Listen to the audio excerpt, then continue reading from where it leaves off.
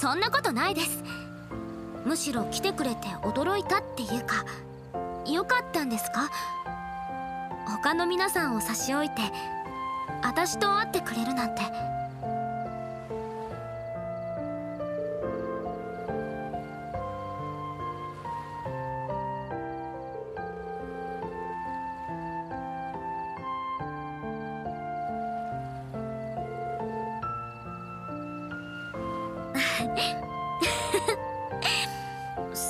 風に言われるとちょっと気遅れしますけど。私も覚悟はとっくに決めてきました。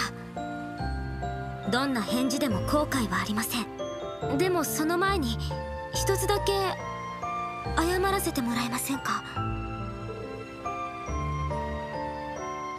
あの時テニスの勢いに任せて思いを伝えちゃったことです。リーン教官のことだから。真剣に考えて返事をくれるのは分かってました。でもそれと同じくらい困らせちゃっただろうなってずっと後悔してたんです。それでも冗談めかして撤回したりは絶対にできませんでした。だってこの思いそのものには嘘も偽りもないから。私がン教官を。あなたのことを好きだってことには。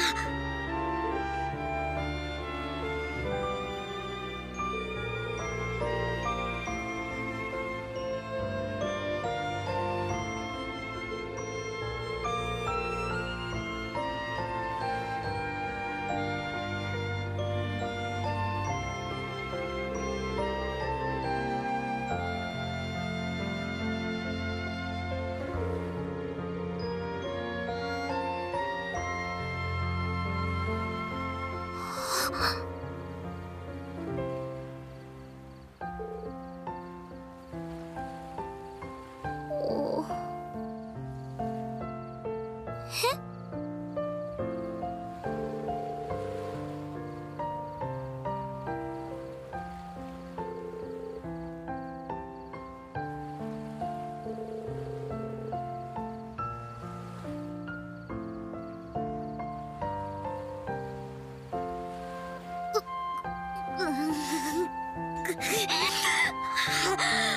あなたって人はこの後に及んでそうきますか？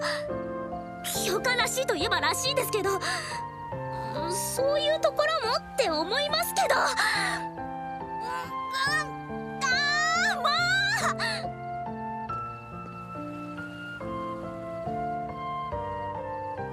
だったらせめて約束してください。絶対に明日を乗り越えて。私が文校を卒業するまで見届けてくれるって。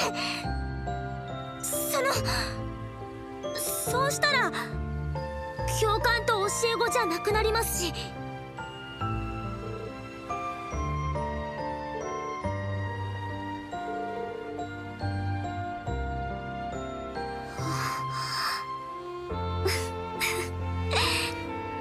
大丈夫です。何があっても。この気持ちは変わりませんから。絶対に。